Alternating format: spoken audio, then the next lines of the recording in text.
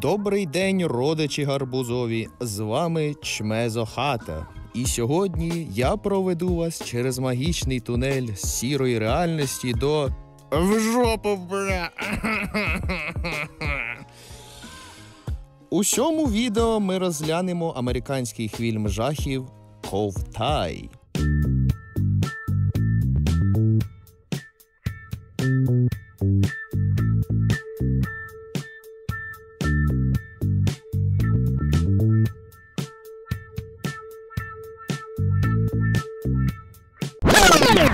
Такс, про що я? Сюжет нам розповідає про скромну молоду дівчину на ім'я Хантер, панночки з сім'ї середнього класу, без особливих талантів чи амбіцій.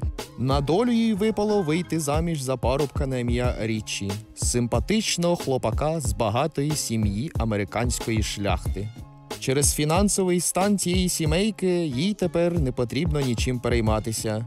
Тільки поливай квіточки, готуй вечерю та прибирай, де насрали. У Хантер вдосталь вільного часу. Можна дивитися телевізор, читати книжечки чи ковирятися в носі, поки не зламаєш палець. Не життя, а казка. Це тобі не копати картоплю влітку чи ломити спину, завантажуючи вагони буряками вночі. Однак у кожного сирника є підгорівша сторона.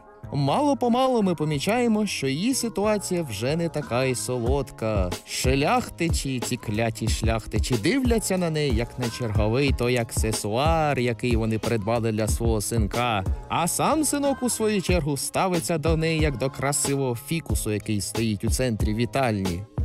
Права голосу тобі ніхто не давав, і не виступай, поки не попросять. Будь-які слова, що виходять з її вуст, пролітають мимо вух егоїстичних шляхтичів. Сіра мишка, яку ніхто не хоче і не буде сприймати серйозно. Згодом Хантер вагітніє, і вона розуміє, що цей малий козак у животі таку ситуацію не виправить, а тільки сильніше затисне лищата шляхтичів на власній шиї. Намагаючись впоратись з таким тиском, Хантер одного дня мимохідь вирішує ковтнути мармурову кульку. Чом би й ні? У всіх буває такий кепський період у житті, що з безвиході так і хочеться ковтнути щось таке цікавеньке і подивитися, як воно ото з мене вийде. Ага. І тут нашого Остапа понесло. Діло не обмежиться глитанням кульок, а переросте у справжню манію, де до її меню будуть входити дедалі небезпечніші предмети. Думка, що хтось з власної волі наважиться ковтати ті штуковини, наелектризує волосся на вашій дупі та закує вас у кайдани терору до самого кінця хвільму. Перше, що хочеться наголосити, цей фільм не для всіх.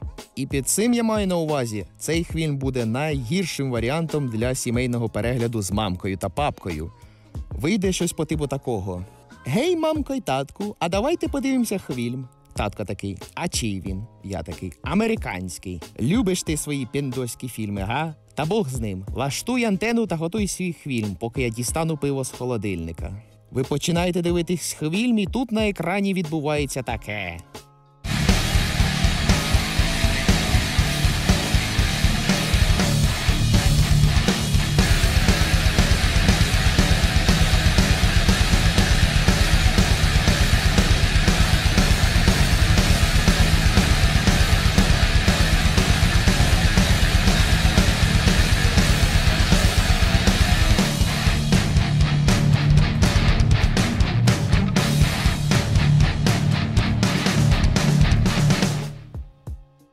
Не встиг татко допити десяту пляшку пива, а ваші родичі вже палять вашу дитячу колиску, яку берегли для внуків десятиліттями, рвуть свідоцтво про народження і кличуть священника, щоб той хрестом переломив вам спину. На шляху у дурку мати буде промовляти услід. Я ж казала, що з нього нічого толкового не виросте.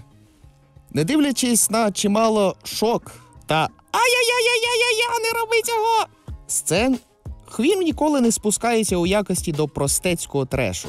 Екзотичний розлад Хантер пов'язаний із жахливим секретом з її дитинства, який рветься на поверхню пропорціонально з втратою контролем над власним життям. І фільм робить гарну роботу, тримаючи фокус на головному персонажі, а не пірнаючи з головою у чисто бридкі сцени. О, так. Ті сцени дуже бридкі. Я скручувався у клубок, як немовля, коли наша шизопані ковтає чергову скріпку чи якийсь інший небезпечний канцелярський предмет. Чесно кажучи, деколи я щиро симпатизував шляхтичам, які ламали голову над тим, як зашкодити Хантер ковтати всяке сміття. Бідні багаті люди. Декілька слів про центральний перформанс. Па. Папіміко, магніфіко, дімінуендо крещендо, браво, геніально, набіс. Коротше, дуже сильний перформанс від Дженніфер Лоуренс, яка грає нашу шизопані Хантер. Стоп.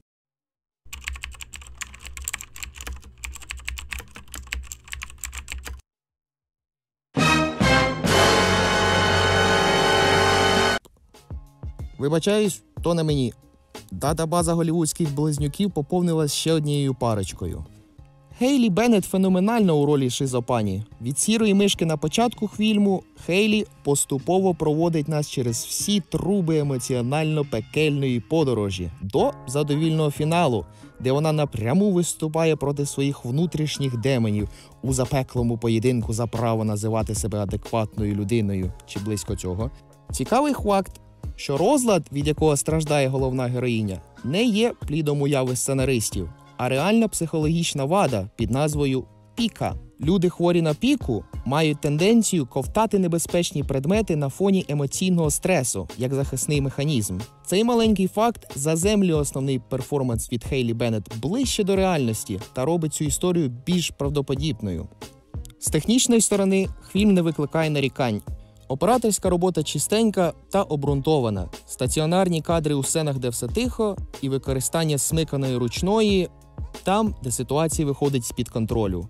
Окремо хочеться подякувати оператору та режисеру за гарну роботу над кольоровою палітрою кадрів, а не просто та ми все бахнемо у жовтий фільтр і Бог з ним відношенням, яке стає тенденцією у багатьох сучасних фільмах. Чіткий ритм монтажу не відриває від історії та правильно розставляє акценти без зайвих викрутасів.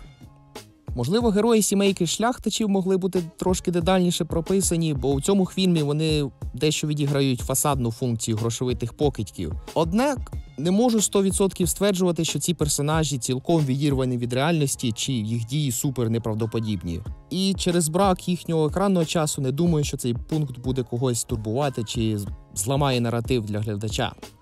У підсумку Ковтай неординарна та смілива картина про зворотній бік життя у золотій клітці. Можливо, хвін буде занадто екстремальний для деяких кіноглядачів, але якщо ви ерудований кіносодоміт, як я, то хвіль вам зайде як діти в школу. Зараз такі картини відчуваються як ковток свіжого повітря серед засилля коміксів, рімейків, репостів, ремастерів чи просто фільмів, які бояться відростити пару яєчок та показати нам щось таке, що ми ще не бачили. Такс, наш огляд підійшов до кінця. Хочу подякувати вам за увагу. З вами був Чмезо Хата. І нехай проблеми та незгоди не роблять вам в житті погоди. Хай вам щастить та будьте здорові!